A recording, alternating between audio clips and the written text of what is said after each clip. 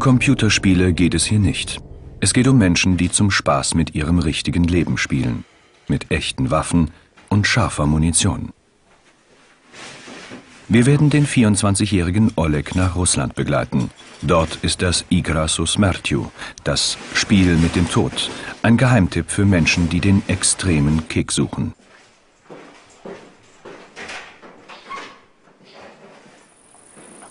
Angst habe ich nicht, nicht wirklich. Ich, ich freue mich halt tierisch drauf. Es weiß aber niemand, dass ich dahin fliege. Ich treffe einen Kumpel von mir da drüben. Dann besorgen wir alles, was ich brauche, Waffen und äh, so weiter.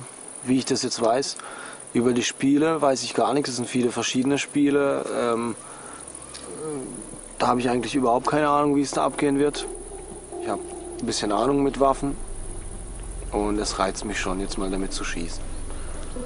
Oleg kam mit seiner Familie vor acht Jahren aus Russland nach Süddeutschland.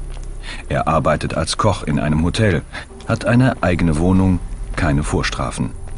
Familie und Freunde kennen den wahren Grund seiner Reise nicht. Ja, man braucht halt Mut, um das Ganze zu machen, aber naja, den habe ich. Sagen wir es so. Und das ist halt nicht jedermanns Sache. Russland. Wir sind in Wolgograd, einst Stalingrad. Hier ist Oleg aufgewachsen. Wir treffen Juri, einen guten Freund aus der Schulzeit. Er hat Kontakt zur Spielerszene und will Oleg zu einem Treffen mitnehmen.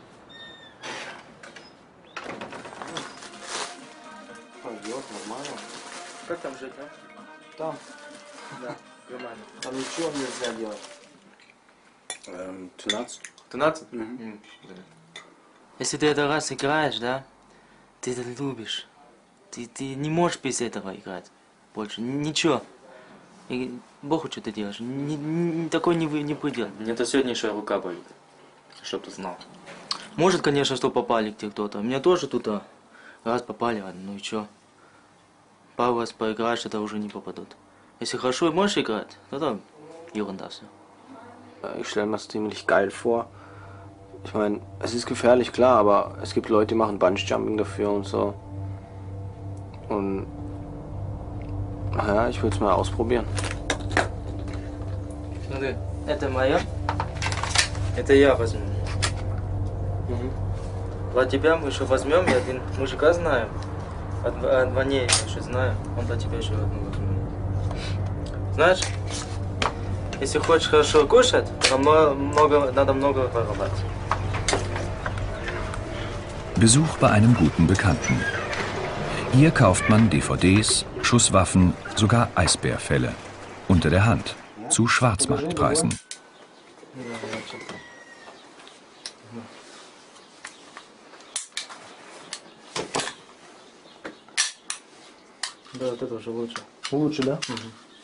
Umgerechnet etwa 30 Euro kostet die Pistole, 100 Patronen inklusive. Auch die russische Gastfreundschaft ist im Preis inbegriffen. Nein, paar, das musst du, paar musst du. Это скажи. Только он Ну, давайте. появится. Ну ты налил? Давай. Дай бог не На последняя. здоровье. Оля, просто.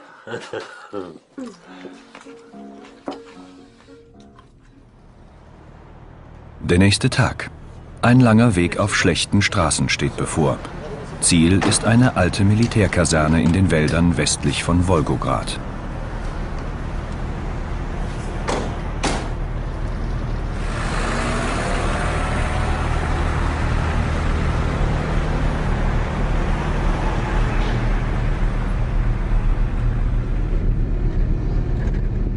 Erst in der Dunkelheit erreichen wir das Spielercamp. Eine Reifenpanne und unzählige Feldwege haben viel Zeit gekostet. Die Spieler verstehen sich als geschlossene Gemeinschaft. Nicht jeder ist willkommen. Bange Momente des Wartens. Dann die Erleichterung. Wir werden eingelassen. Die Kamera müssen wir vorerst abschalten.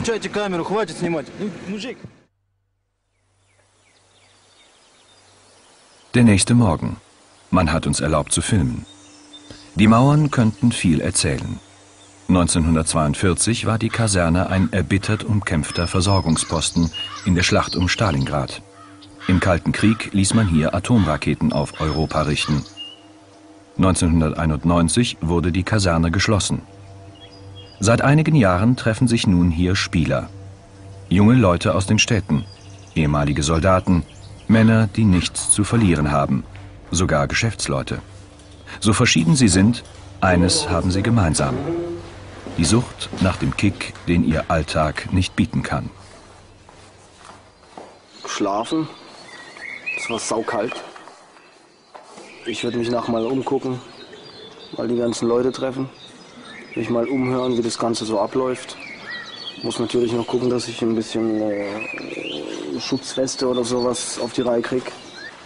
Naja, das. Ich denke mal, das wird was.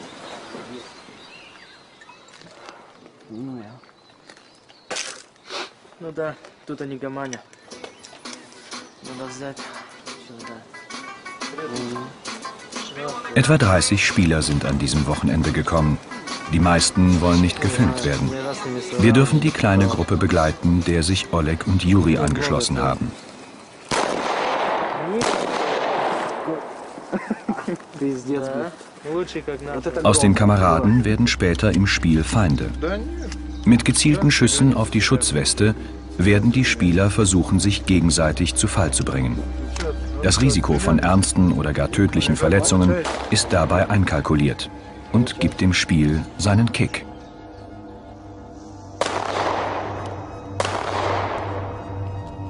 Den Vormittag nutzen die Spieler für Schießübungen und Gespräche.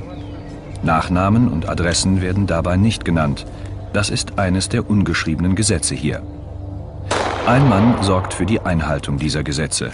Der General, wie ihn die Leute nennen. Я с моих молодых лет служил здесь и работал, пока времена были хорошие, теперь все изменилось. И я наблюдаю, смотрю за порядком э, при этих играх с молодыми людьми, которые они здесь проводят. И вы сами тоже принимаете участие в этих играх?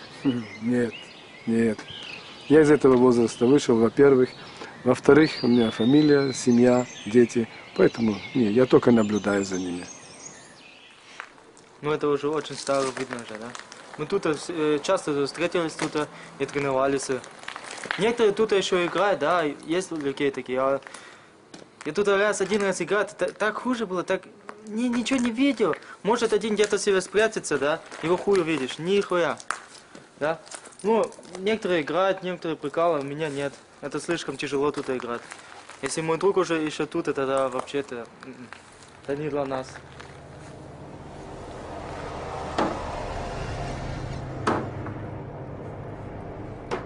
Die Kaserne ist nicht nur ein Treffpunkt für abenteuersüchtige Spieler. Auch clevere Geschäftemacher haben den Weg hierher gefunden.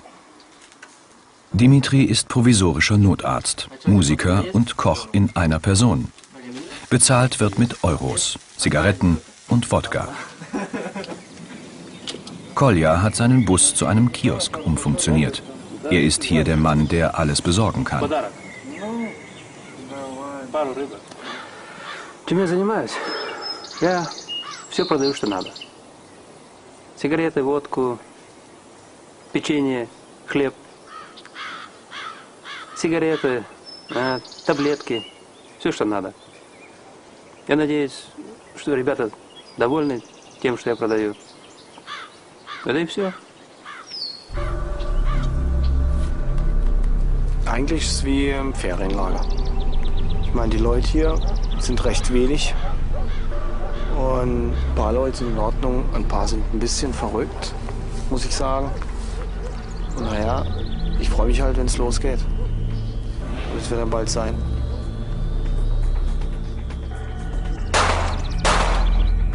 Die letzte Gelegenheit zum Üben. Gezielt wird im Spiel auf den Oberkörper, wo die Schutzweste sitzt. Die Wucht der Geschosse wirft den Getroffenen zu Boden. Die Projektile bleiben in den Westen stecken. Wer sich keine Schutzweste leisten kann, behilft sich mit gepolsterten Metallplatten. Für Außenstehende unfassbar.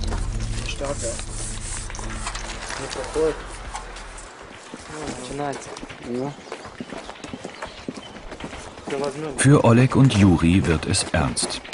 Ihre Gruppe sammelt sich für das erste Spiel. Wir fragen den General nach den Regeln. Эта игра называется «Заме- «Завоевание знамя». Правила этой игры. В лесу нет правил. Там каждый за себя. Потому что там нету кому смотреть за ними и некому оценять, правильно или неправильно.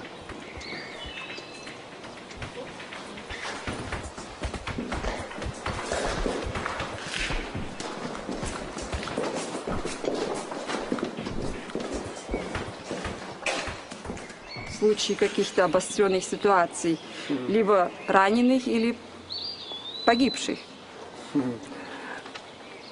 В эту игру никто не имеет права вмешаться и не может вмешаться, потому что они стреляют все, что шевелится.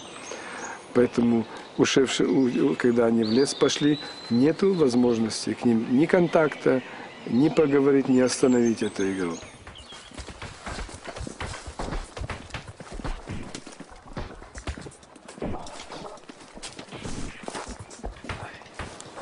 Я имею в виду, что в этой игре кто-то погибает. Ну, бывает уже, бывают. Если не очень осторожны они, они должны быть опытные. И происходит, да, происходит. Числа мы не можем назвать. Как относятся вообще власти к этим, к этой игре? Власти. Власти тоже принимают участие иногда. Также стреляют и также стараются победить. Оттаскивай его потихоньку.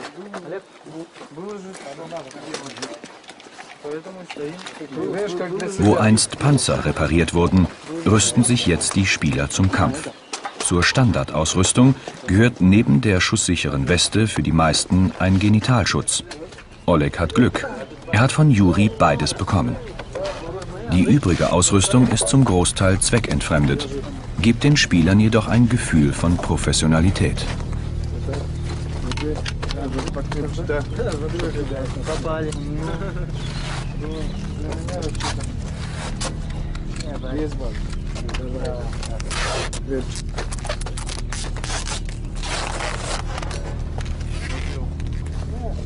Ништяк, да? Молодец, смотрите, уже попали. Im Falle einer Verwundung müssen die Spieler oft lange warten, bis sich der Lagerarzt um sie kümmern kann. Aus diesem Grund werden vor dem Spiel Schmerzmittel eingenommen. Eine Art Unfallversicherung auf Russisch.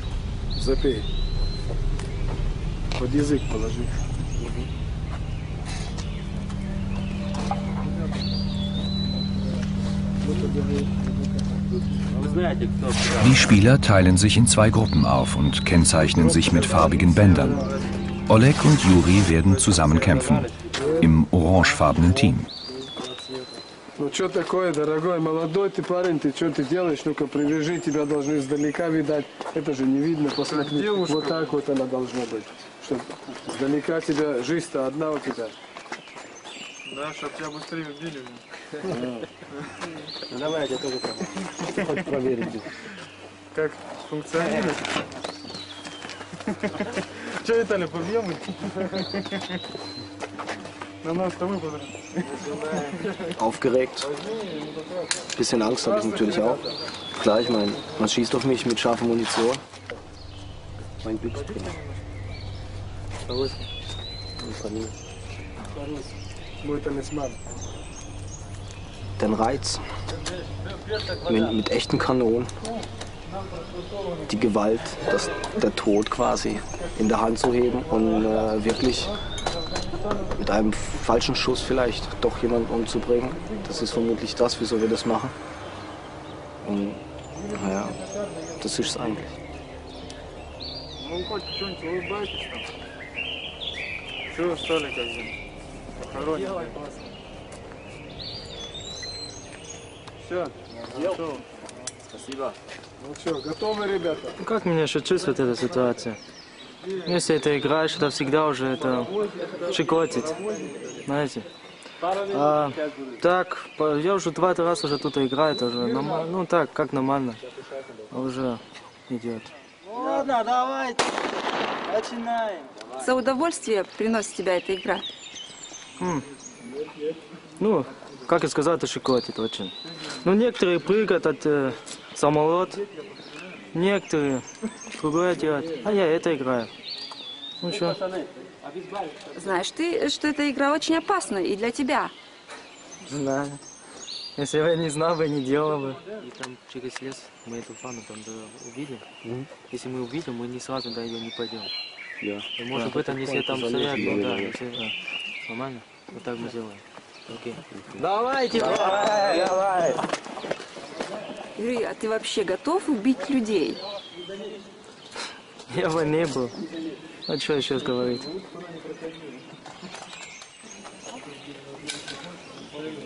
jemanden zu töten. Ich meine, wenn ein Schuss daneben geht und es jemand trifft und ich töte damit jemand, gut, das weiß ich, das wissen die, das ist das Risiko, was wir hier haben. Und da würde ich sagen, dann passiert es halt.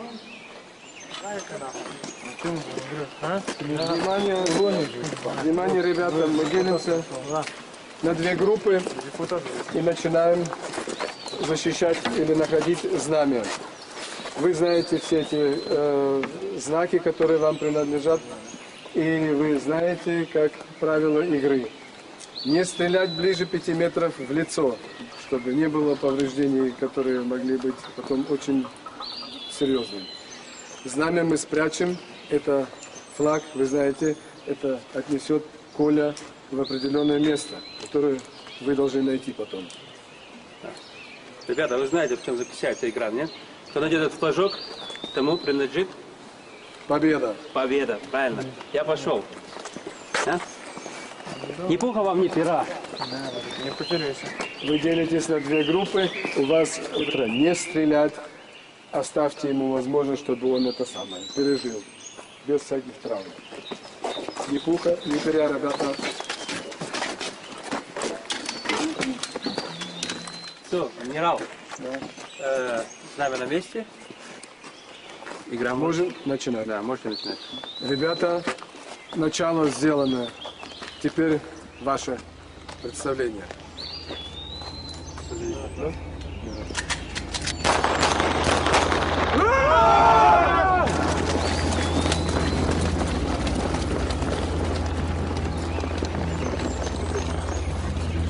Das Igra Susmertiu, das Spiel mit dem Tod, hat damit begonnen. Unsere Kamera ist nicht dabei. Wir werden warten auf den Sieger und auf die, die aus dem Wald zurückkommen.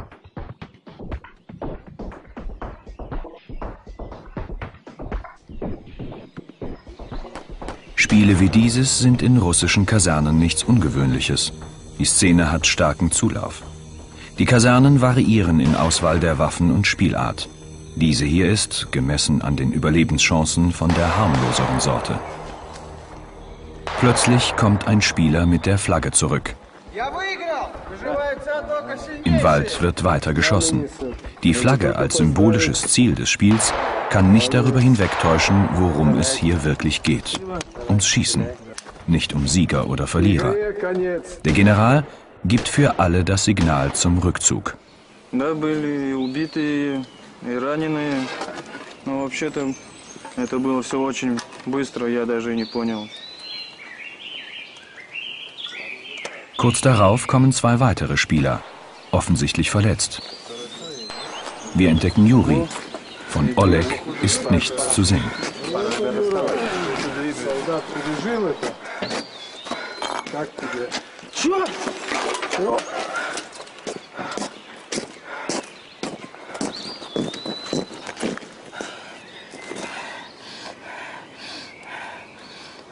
Wie wir später erfahren, ist die Situation im Wald eskaliert. Ein Spieler schoss wild um sich. Es gibt zwei Tote, vier Verletzte. Oleg wird nicht mehr kommen. Ein Treffer am Kopf hat das Spiel für ihn beendet.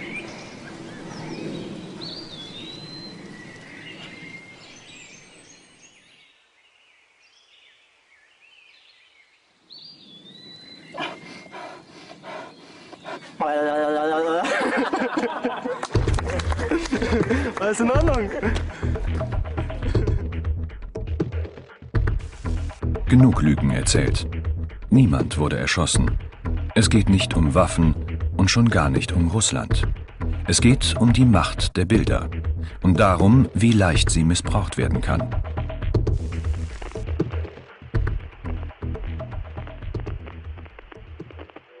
Bilder faszinieren uns Menschen seit jeher. Als die Gebrüder Lumière um 1895 die Ankunft eines Zuges zeigten, flüchteten die Zuschauer in Panik, weil sie glaubten, der Zug würde in den Vorführraum rasen. Heute lächeln wir darüber. Aber der Glaube, dass uns Bilder die Wirklichkeit neutral und objektiv zeigen, ist auch nach über 100 Jahren ungebrochen. Gleichzeitig sind die Möglichkeiten der Manipulation durch neue Produktionstechniken enorm gewachsen. Bilder können die Wirklichkeit niemals originalgetreu zeigen. Sie sind immer etwas Künstliches und Gemachtes und von der Absicht des Filmemachers beeinflusst. Bilder können gezielt manipuliert werden, um erfundene Geschichten glaubhaft zu präsentieren oder den Zuschauer zu beeinflussen. An diesem Beispiel soll gezeigt werden, wie diese Techniken funktionieren.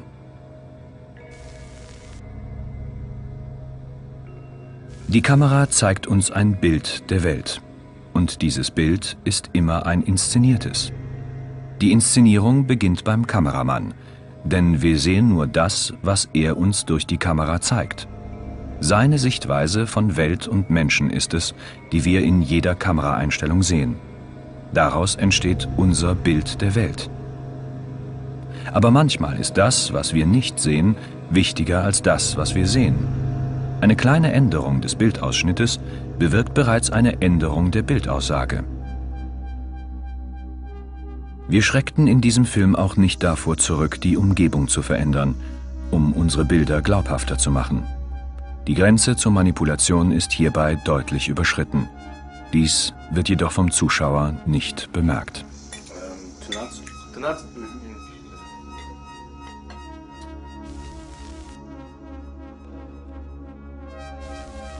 Die Kameraführung ist entscheidend für die Wirkung der Bilder.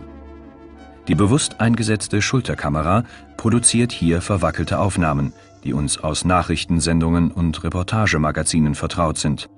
Auch völlig unbedeutende Ereignisse erscheinen aus der Perspektive einer bewegten Kamera wichtig und spannend. Denn wir haben gelernt, diese Bilder ernst zu nehmen. Alleine mit der Aufnahmetechnik lässt sich so der Eindruck einer seriösen Berichterstattung schaffen, ganz gleich wie absurd das Thema ist.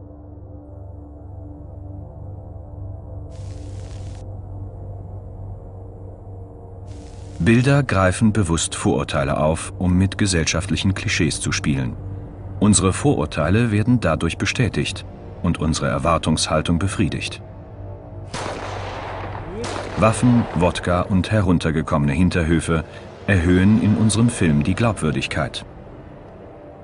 Das vermeintlich vertraute Russland hat mit der Wirklichkeit nichts zu tun. Wir haben kein einziges Bild in Russland gedreht und trotzdem eine russische Geschichte erzählt. Mit den passenden Klischees hätte es auch eine französische sein können.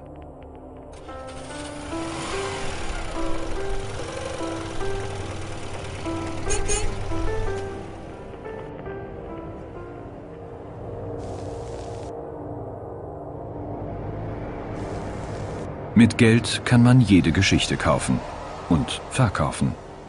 Unsere Darsteller haben kein Honorar bekommen und trotzdem überzeugend gespielt. Übrigens mit Schreckschusswaffen. Etwas Russisch mussten sie natürlich sprechen, wenn auch die Übersetzung nicht immer korrekt war. Если хочешь хорошо кушать, надо много, надо много воровать, знаешь? Если хочешь хорошо кушать, надо много, надо много воровать, знаешь?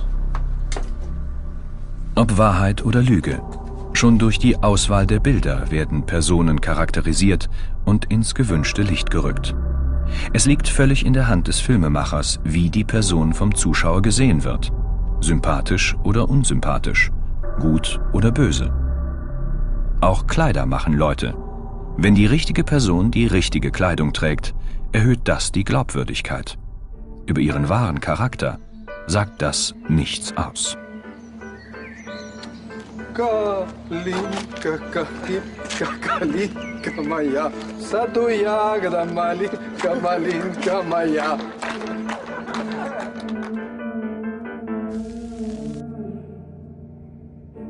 Die Montage ist das mächtigste Werkzeug des Filmemachers.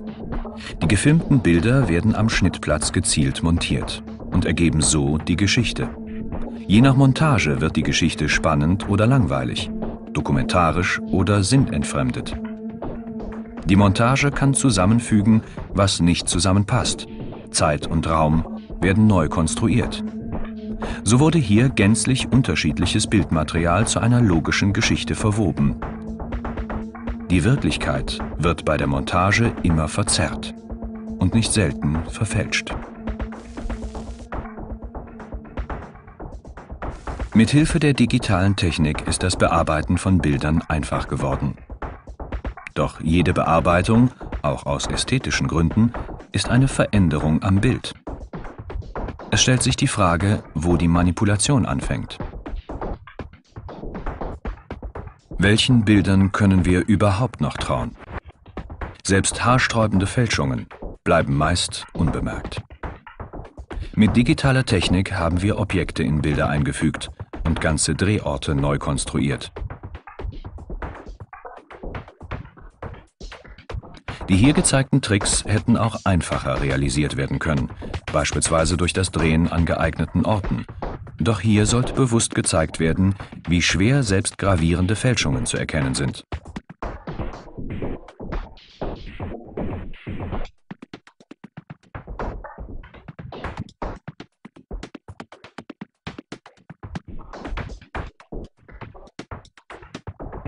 Aus künstlichen und verfälschten Bildern wurde eine Scheinwelt geschaffen und dem Zuschauer als wahre Wirklichkeit präsentiert.